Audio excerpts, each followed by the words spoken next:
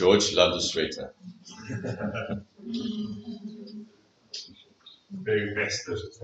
Yep.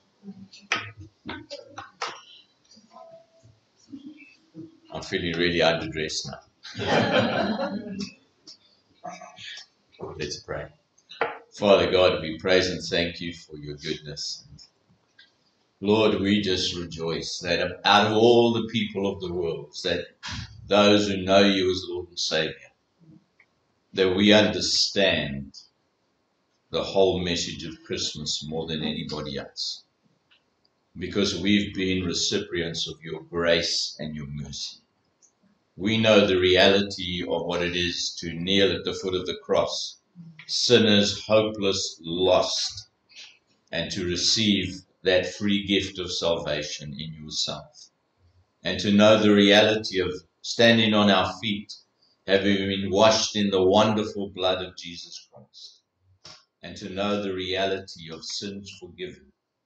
And Lord, we just thank you that at this time of the year, that as we remember your advent, we also let our eyes go forward to the fact that the cross is coming.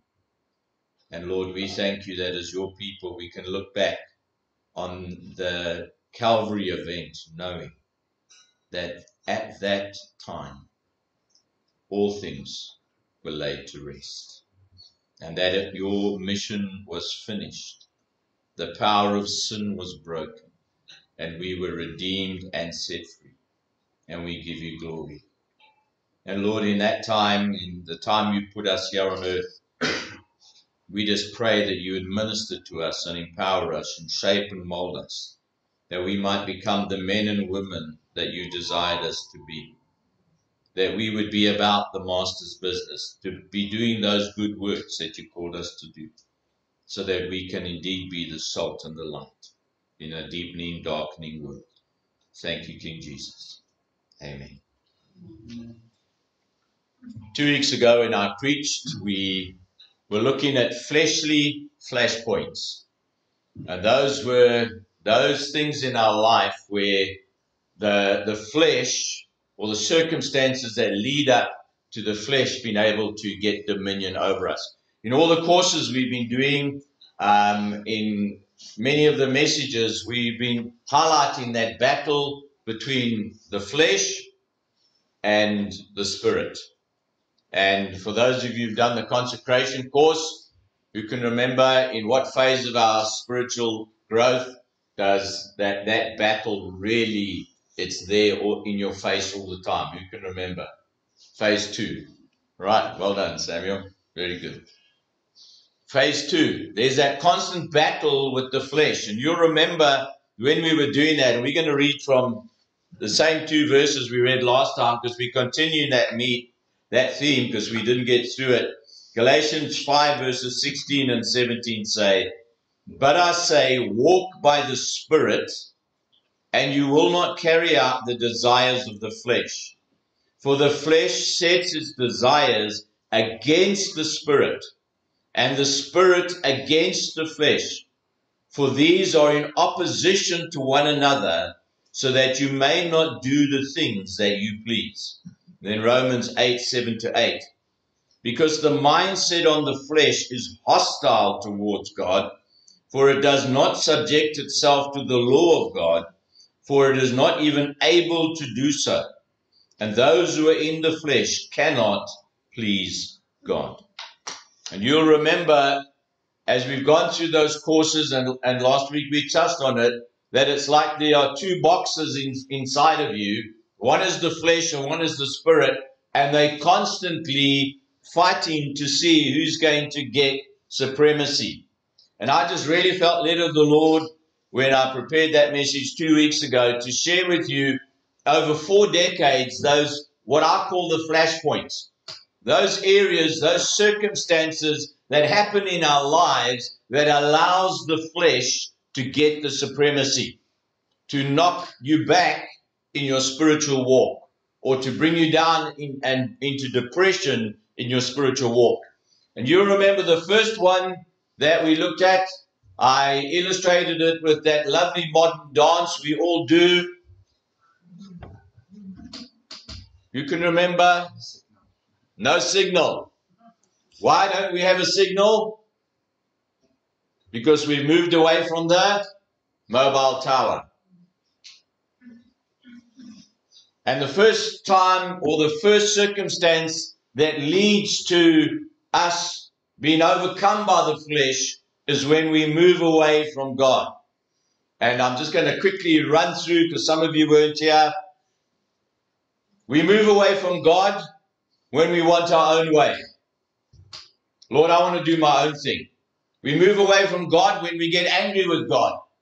And maybe that's because some circumstances have happened in our life and we don't understand what's happened. And we get angry with God. And I just shared with you briefly remember that Romans says God causes all things to work together for good for those who love the Lord. And effectively, no matter how many deep, dark things happen in your life, know this that God will turn it around and use it for His glory.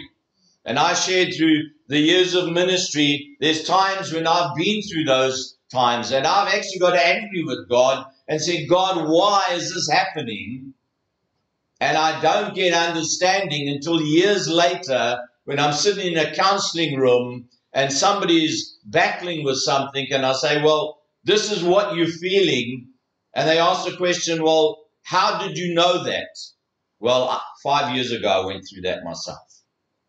So, whatever you're going through now, no matter how dark it is, know that God will turn it around and He will use it for ministry. You know, it's, and I always use the illustration my wife trained as a midwife. And she used to tell me about when ladies were giving birth and it was breathe, lovey, it's not so bad breathe, breathe. It's not so sore. And then she had her first baby. it hurts. yeah. Different perspective. And we need to realize when you've been through something, it changes you that when you encounter somebody else who's going through that same thing, you have compassion, you have understanding, you have insight, and you can minister Jesus to them. So, but people move away from God when they get angry and when they stop feeding themselves. When they get to the point where they rely on just be being fed once a week on a Sunday, where they're not spending time in the Word of God and allowing God to feed them. Remember, Romans 12 earlier on says, Do not be conformed to this world, but be transformed. How? By the renewing of your mind. And you need to be feeding yourself, that your mind is renewed. We looked at last time, the flesh gets control when we move away from our spouse. When we allow things to, and we looked at that mentally, when we distance ourselves from our spouse, maybe because we're angry or we're just so busy or there's things happening or there's a bit of conflict there. When we move away from our spouse physically, when there's no more physical contact, and we touched on intimacy as well. Those are all areas where if that's not happening in our marriages with our spouse, the flesh gets the opportunity to arise because you find yourself in a, in a vulnerable position. And very often people will respond to affection, understanding, all of those things from somebody on the opposite sex when they they are in that vulnerable position. And that's when a lot of things go wrong. The third thing we looked at last time is when we move away from the command to rest. And we looked at many people feel they've got to be busy, busy, busy, busy, busy, busy, busy, busy, busy, busy, busy, busy, busy, busy, busy, busy, busy, busy, busy all the time. And you know what happens? We get tired. You know what happens when we get tired? We get, become vulnerable. And that's when the devil can step in. And remember, we touched on certain personality types the beavers, the golden retrievers. The beavers will be busy, busy, busy just to be busy.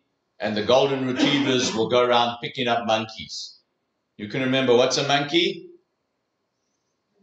The responsibility. You look around and you're picking up everybody else's responsibilities. And you're doing it because if I don't do it, nobody will. And you end up with a martyr complex that I've got to save the world.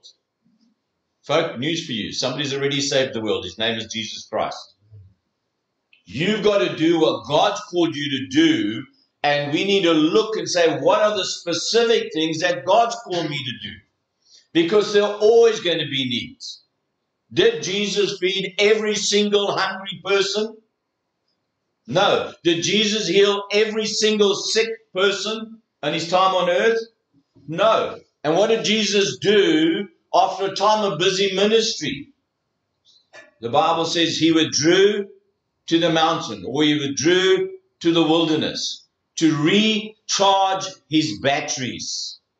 Because if we allow ourselves to get physically tired, if we get so many responsibilities, and remember I said if you've got too many monkeys on your back, they turn into gorilla, and the gorilla will kill you. And when we do this course, it's called Monkey Business, we tell people that if they've got too many monkeys and they're turning into gorilla, you've got to shoot some of the monkeys. Because if nobody else is going to feed them, and I know for the golden retrievers now, you're saying, oh, I couldn't do something like that. If I don't do it, who's going to do it? There are some things you have to let die. And you see this in churches as well, where ministries run and suddenly there's nobody to run that ministry anymore. And somebody else will come and they'll pick that up and they're running their ministry and this ministry and that ministry and this ministry. And what happens when you spread yourself across so many? You're not able to do one or two things well. So things become very haphazard eventually. And I've seen this so many times in Sunday school. People burn out. I've seen it through the years. They say, I just don't want to do something. I love Sunday school, but I just can't because I'm exhausted. And the very thought and it's at that moment when we are exhausted that the flesh will come in and temptation will come in. We have to allow ourselves to rest because God has designed our bodies to heal when we rest. God has designed our bodies to heal when we sleep.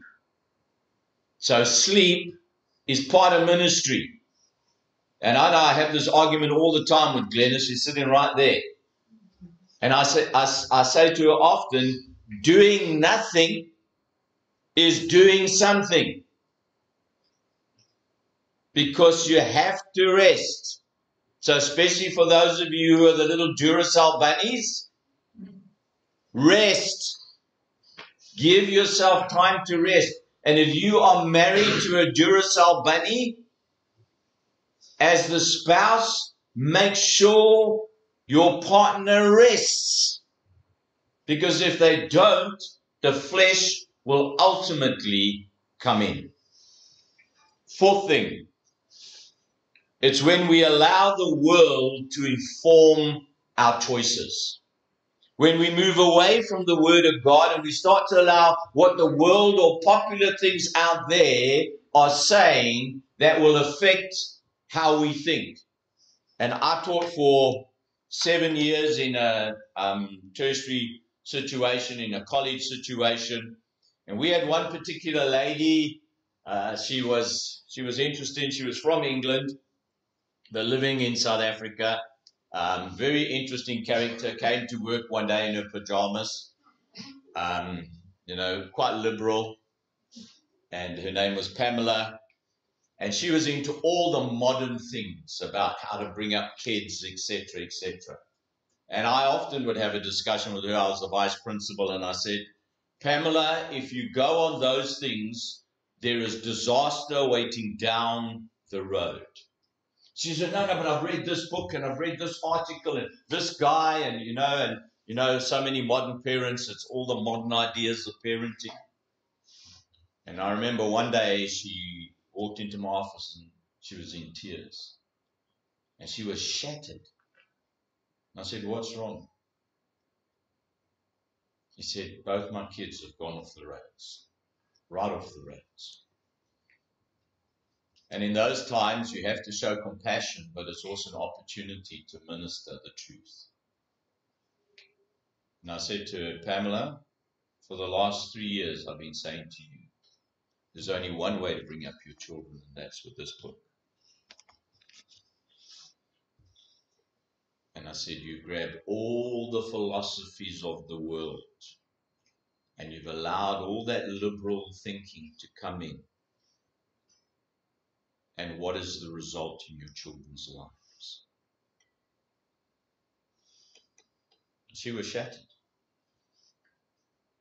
You see, folk, when we allow the world to inform us of how we should be behaving, and sadly, that is happening. The world, through its pressure on social media and all the change that is happening, it is pushing with huge pressure. And the fleshly part of us wants to ally itself with that because that sin and the fleshly sinful part of us wants to ally ourselves there. And we start to think about the things of the world. And oh, shame.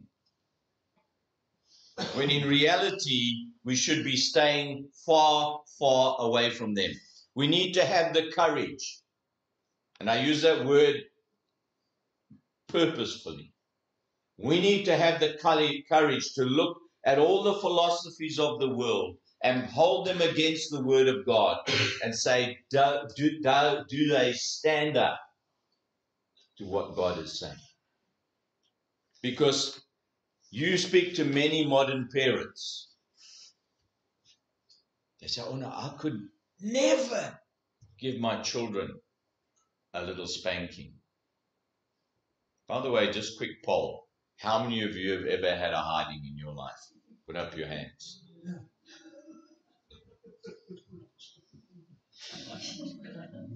He's got two hands up because he was really naughty. Now I want to ask you the question. Did the hiding traumatize you so much that you've never been able to function as a reasonable adult? Or did it shape and mold you? It shapes us and it molds us and it teaches us that there are responsibilities and consequences to our actions. What's happened in the modern world is that we say, oh, don't just let the kid be free to be themselves. Let me translate that into spiritual language. Just let the flesh have full reign. And when the flesh has full reign, you end up with major, major conflicts. Because the flesh, by nature, is selfish, by nature is destructive, by nature is not caring. You look at a child handing around a packet of sweets. Mommy says, share the sweets.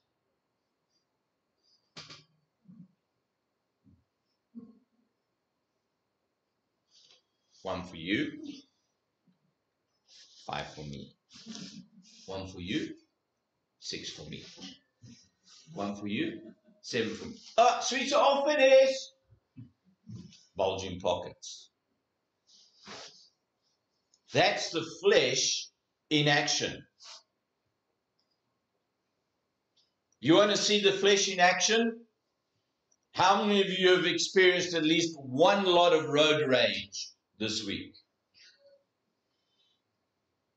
Where somebody's just pulled in front of you or sped past you. I must admit, I was tempted to road rage on Thursday night. Glennis had a work function. I dropped her off.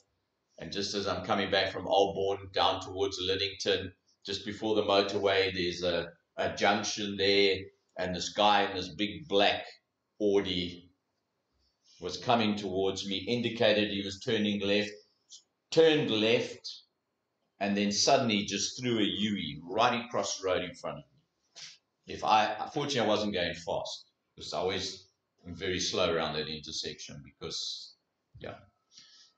And I jammed on brakes. I missed him by inches, and he threw the U and then shot down the road on the other side at high speed because I think he then got scared I was going to follow him because that's the world we live in. That is the flesh. I will do what I want to do when I want to do it. And that is the philosophy of the world. And if we abandon this book, if we allow the world to inform our philosophy, the flesh will prevail. The fifth thing where the flesh will always take the opportunity is when we allow things to fill the gap. I've seen this so many times through the years. There was a time when young men would go into the army and do something called national service. And that taught them discipline and it helped them to get their highs, their adrenaline highs. Do you know that in nearly all the surveys in the last 15 years, they ask young people, why do you work? They say, I work to get enough money so that I can go on lovely holidays or I can go skiing every weekend or bungee jumping or extreme rock climbing or surfing or cage diving with great white sharks or what what's a common denominator in all of those things? Adrenaline. They want a, a, a bigger high they want to adrenaline makes you feel gives you the buzz and people talk about man i'm really buzzing what that is, that's the adrenaline. And they're constantly looking for that buzz. And when we allow things to fill the gap that Christ should be filling, the flesh will take over. When we are filling that gap, that, that getting that adrenaline buzz through jumping off cliffs, or going out and purchasing the latest 82 inch TV. Then we get home and realize, whoa, we don't have a wall big enough for it.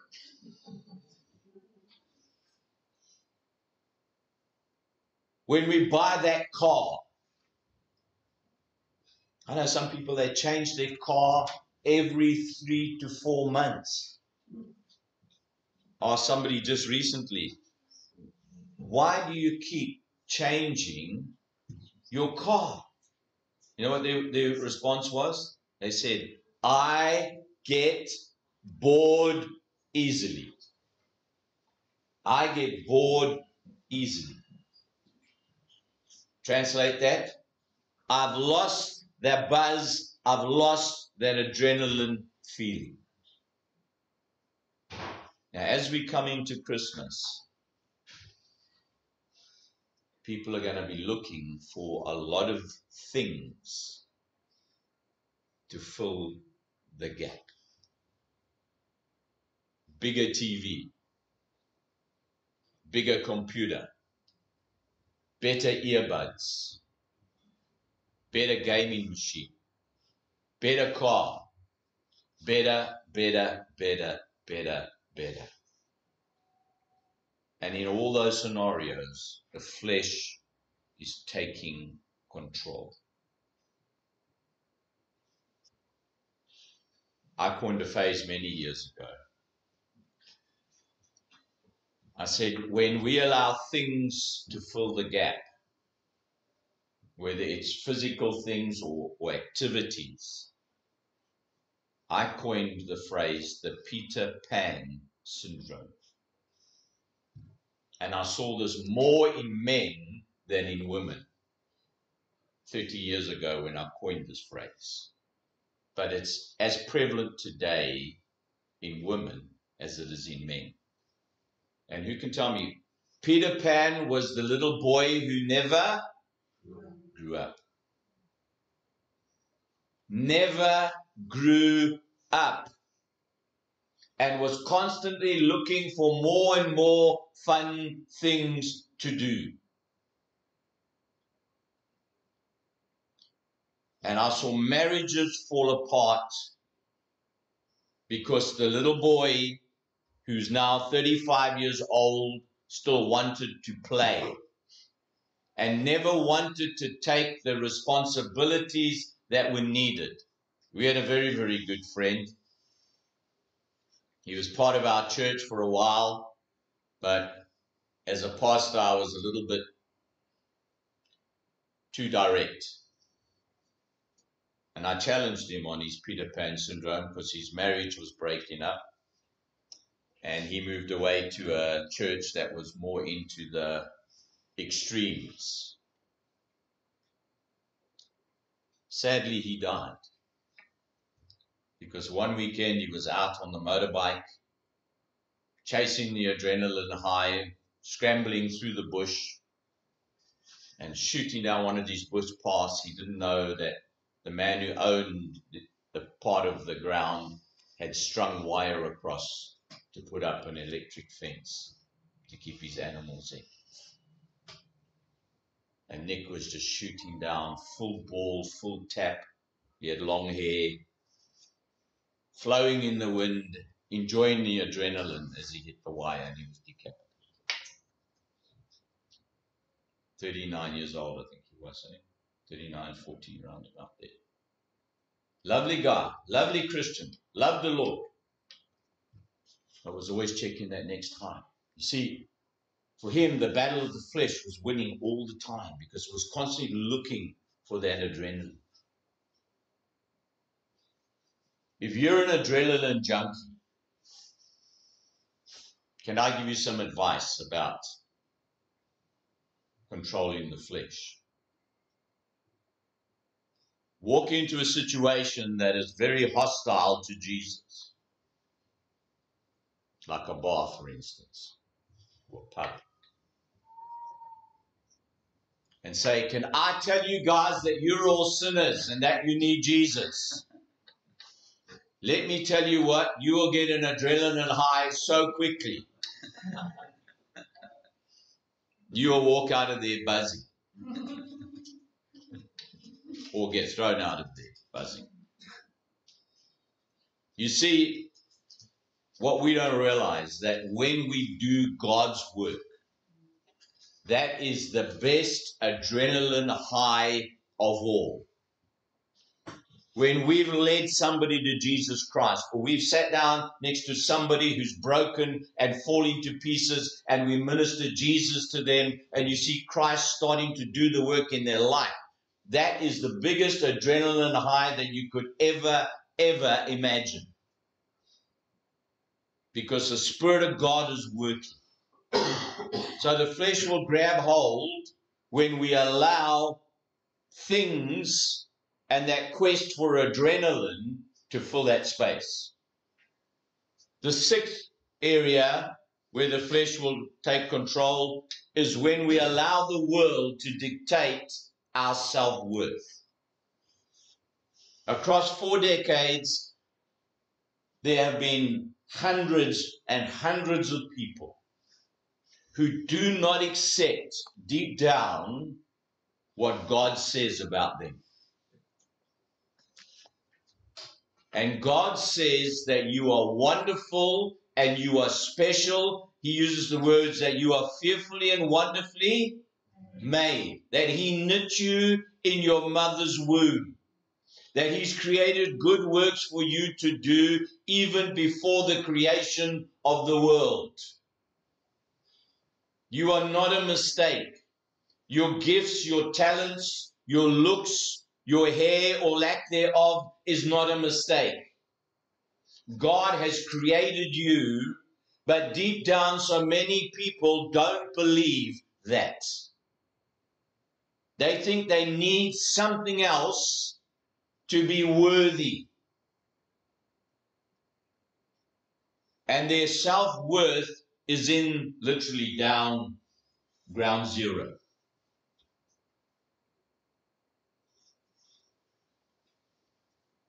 Through the years, people have said to me, Do you know that you're quite arrogant? Glennis is having a good laugh. But you know what? I've never accepted that I'm arrogant because I'm not. What I am is supremely confident in what Christ has done in my life. I'm extremely confident in the Word. I'm extremely confident in the giftings that Christ has given me because I know who I am. I am a sinner who's been saved by grace, taken from that deep, dark place, and been washed and cleansed by the blood of Jesus Christ and be given a place and an identity and a calling and, in my case, a family. Not just my immediate family, but all of you. The church of Jesus Christ is my family. They're the people I love. They're the people that impact my lives. They are special. Why are they special? Because they're God's people who have been fearfully and wonderfully made, and that God has given you an identity. And the devil comes and he whispers in your ear and says, You're no good. And you're constantly trying to be something when the reality is you are something. And if Christ has done his work in you, you should stand tall and stand proud. Um, and I use that word in the biblical sense. Proud in what Christ has done for you. Proud in what God is doing in and through you. And stand firm. Don't grovel. Don't allow the flesh to say you still need an add on. And we get so confused because we're living in a day and age where every time you open your email, it says, Why don't you upgrade? Upgrade your phone, upgrade your software, upgrade your package, upgrade your email, upgrade your broadband, upgrade your looks. Do you know how many billions are spent on plastic surgery?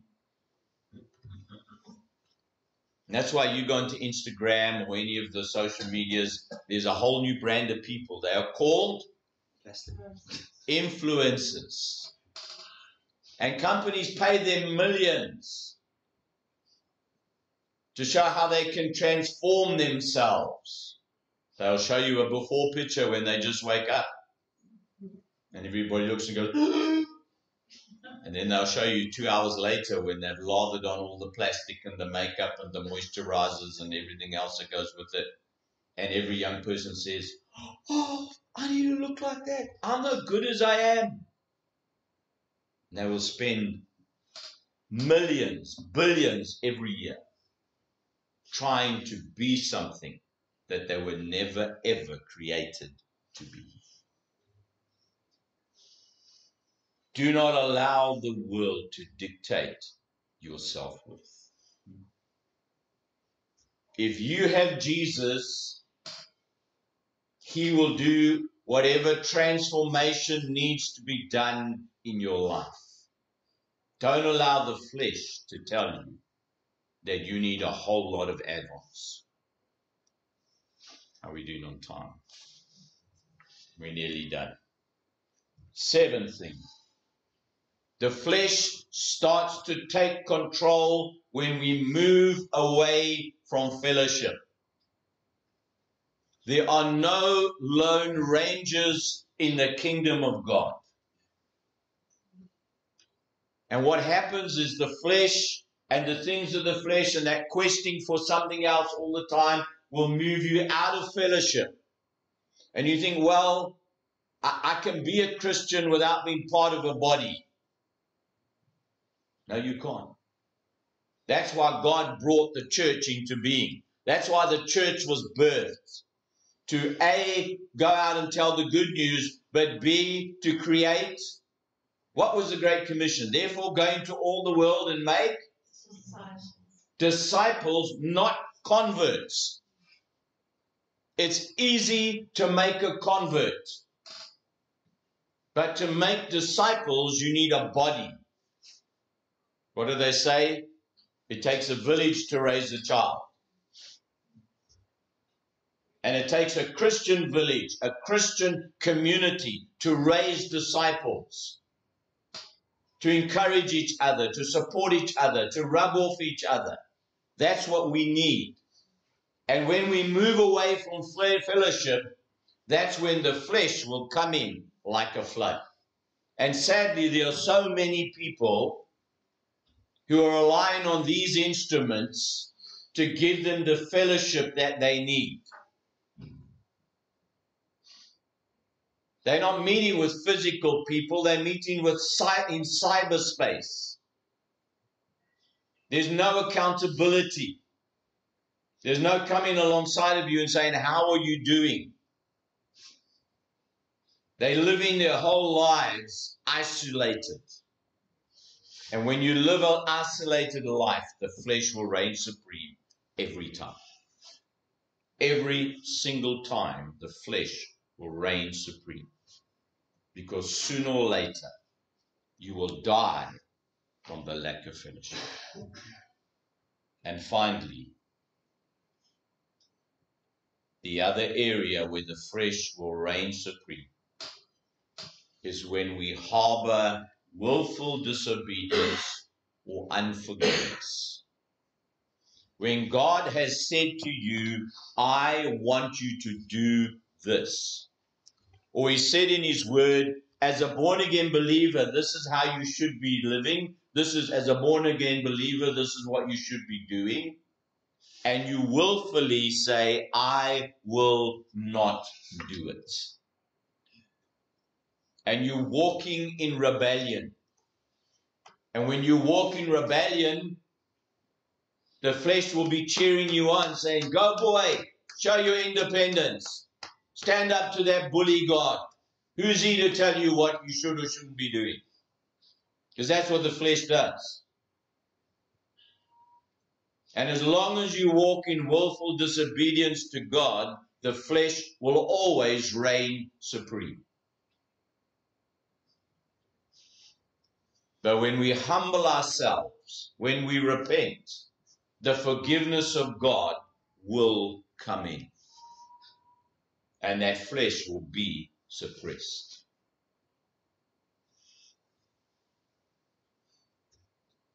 And part of that disobedience is unforgiveness. We've been through the 70 times 7 course. I think that should, should be done every year not necessarily as a group, but personally. Lord, who have I not forgiven this year? Who have I locked away in my heart? There's certain folk when you use the name Margaret Thatcher,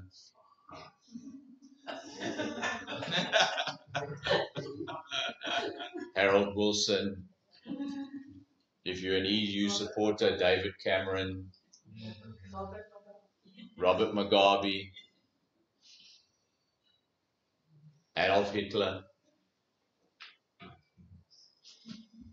There are certain names that just provoke a reaction. You know what that tells me? You haven't forgiven.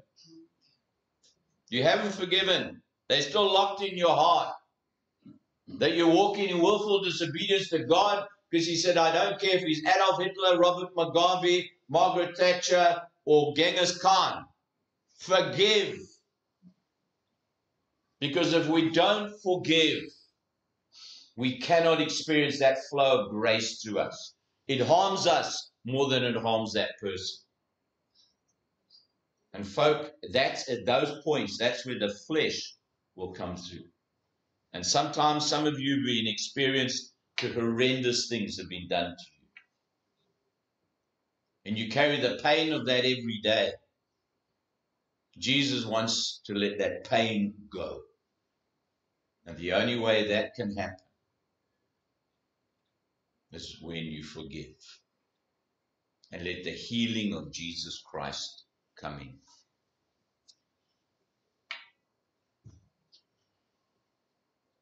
Some horrendous things have been happening in the world in the last couple of years. And there are going to be a lot of very angry, very hurt people.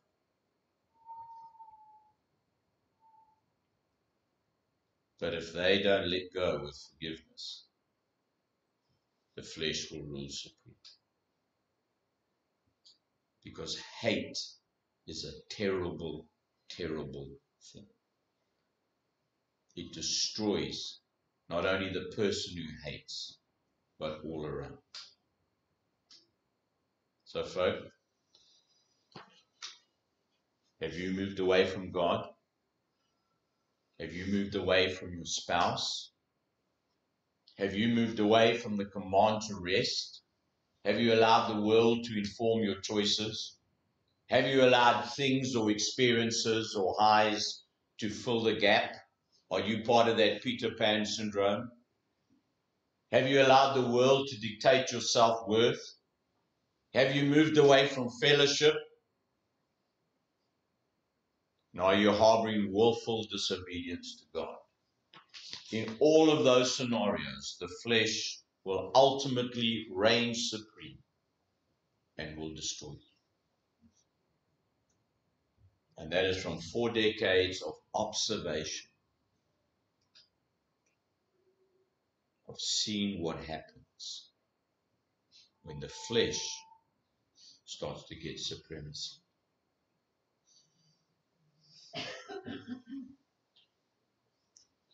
We all battle with the flesh. The important thing is not to let the flesh win that battle. And to constantly be coming to the foot of the cross and saying, Lord, forgive me and let God bring His healing work in your life.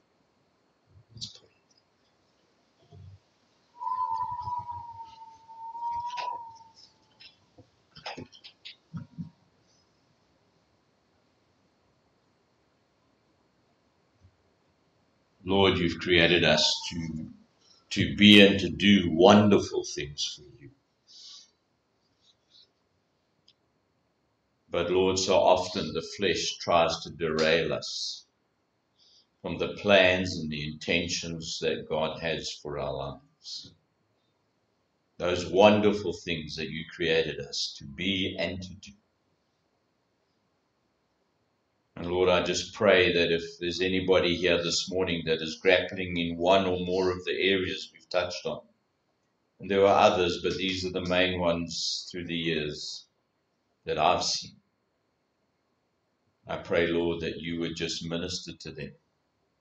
Remind them that you love them, that you desire to see them live in victory and freedom and forgiveness and love and grace and mercy. And help them just to capitulate, Lord, to bend the knee and do whatever it needs to be done so that you can work and reign supreme in their lives. And Lord, I thank you that you're the one who has already won the victory. That when we stand in the identity of who we are in Christ, we can stand with confidence, knowing that if God be for us, then who on earth can stand against us. Thank you, King Jesus. Amen.